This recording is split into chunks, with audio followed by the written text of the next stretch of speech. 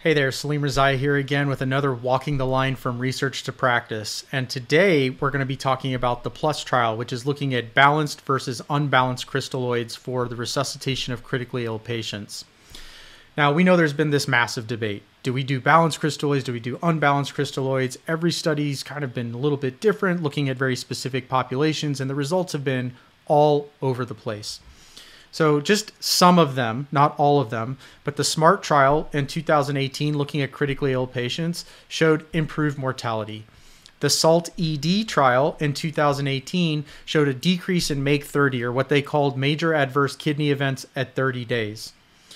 The SMART Part 2 trial specifically looked at sepsis patients and showed that balanced crystalloids decreased acute kidney injury and then the most recent study was the BASICS trial, which was published in 2021 and showed no difference in mortality.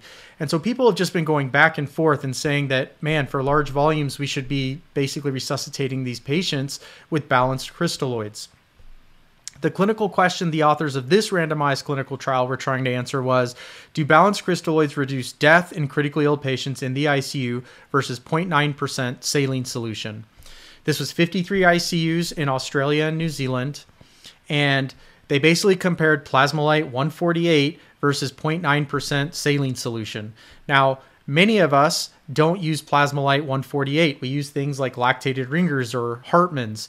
This study does not look at that specific balanced crystalloid. It is specifically looking at Plasma-Lyte 148. The primary outcome was 90 day mortality, and an important secondary outcome was new renal replacement therapy just about 5,000 patients, pretty big study. Um, and really does a good job. 33% came from the ED. The reason I mention this is that a lot of previous studies, a lot of the patients came from elective surgeries or from the operating room. So a third of these patients are coming from the emergency department. They were also really sick in this study. 79%, four out of five people were on mechanical ventilation, and almost 50% had sepsis coming into this trial.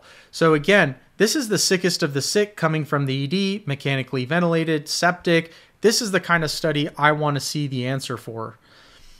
Both groups received about four liters of fluid. I mentioned this as well because a lot of previous trials, most patients were getting less than two liters of fluid. And honestly, I got to tell you, if you're giving a patient less than two liters of fluid, it probably doesn't matter what you're giving them, with very specific exceptions. So here's our primary and secondary outcome on the left Plasma-Lyte 148 versus 0.9% saline. And here's what they ended up finding no difference. No difference whether you gave the Plasma-Lyte or the 0.9% saline. No statistical difference between the two groups or for the primary or secondary outcome. Now, this was given over a long period of time. This was given over seven days, which is maybe not what we're doing in the emergency department. But again, the amount that was given was very large, was over three liters, almost four liters in, in a lot of cases. Now, I think a lot of us are getting smarter using ultrasound and using other kind of fluid responsive technologies to help us guide and individualize fluid replacement. I also think the days of giving liters upon liters upon liters of fluid has probably gone way of the dodo bird. It's not something that we're all commonly doing.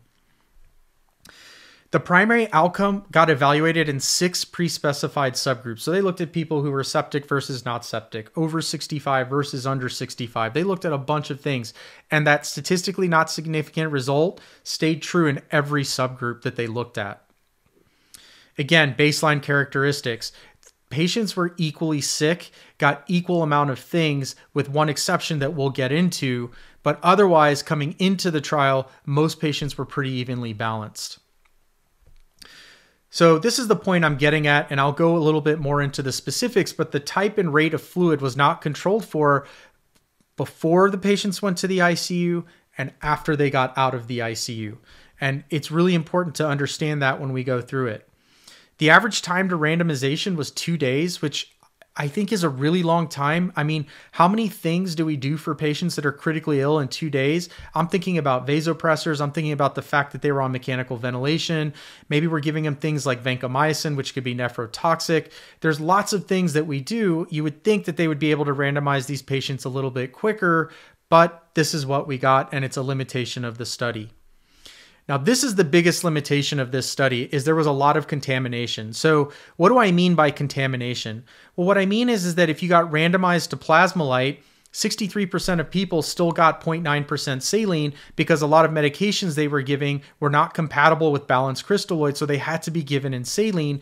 Whereas people who got randomized to the 0.9% saline, only 3.5% got Plasma-Lyte. So there's a huge discrepancy here where we're not purely comparing balanced versus unbalanced. There is some contamination of the balanced group with 0.9% saline. So, I had to keep track of all this because it was really complicated to go through the study, but this is basically how it went down.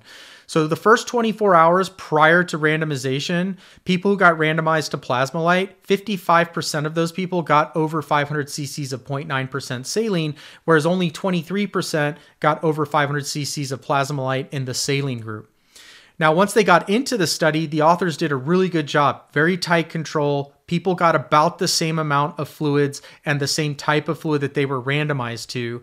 And then once again, once they got out of the ICU, you can see there's a huge contamination rate. 63% in the Plasma-Lyte group got 0.9% saline, whereas only 3.5% in the saline group got Plasma-Lyte.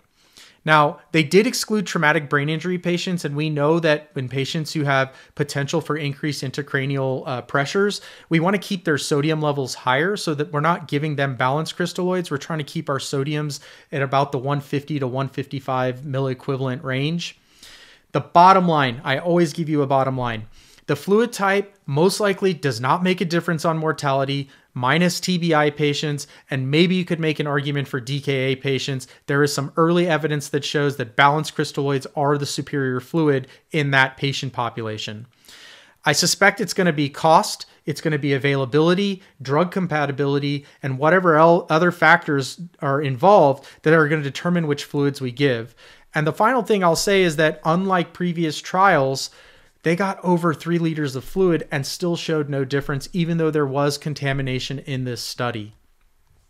Tell me what your thoughts are on balanced versus unbalanced crystalloids. Leave me comments, leave me questions, and until next time.